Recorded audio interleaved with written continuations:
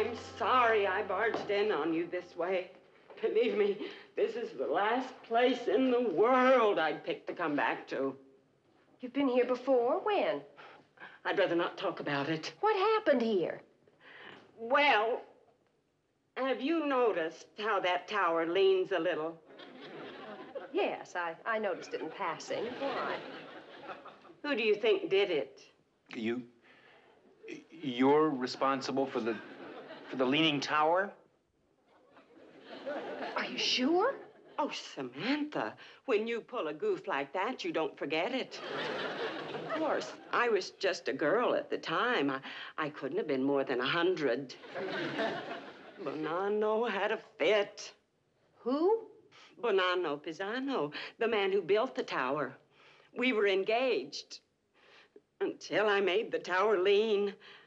After that, he wouldn't even talk to me. Oh. Oh, what a temper. Sam? Hmm?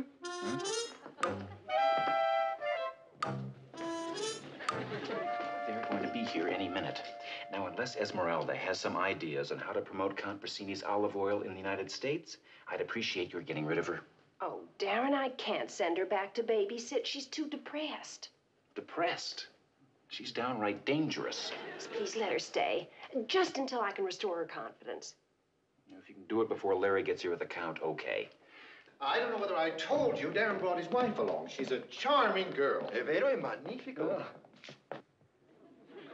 Esmeralda, what are you doing here? Good grief. Uh, hi, Larry.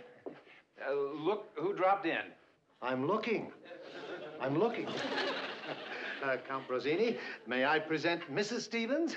Tanto piacere, signora Stephens. Il piacere è mio. Uh, you know Darrin, of course. Buongiorno. And this is a friend of the family, Esmeralda. Bello nome, Esmeralda.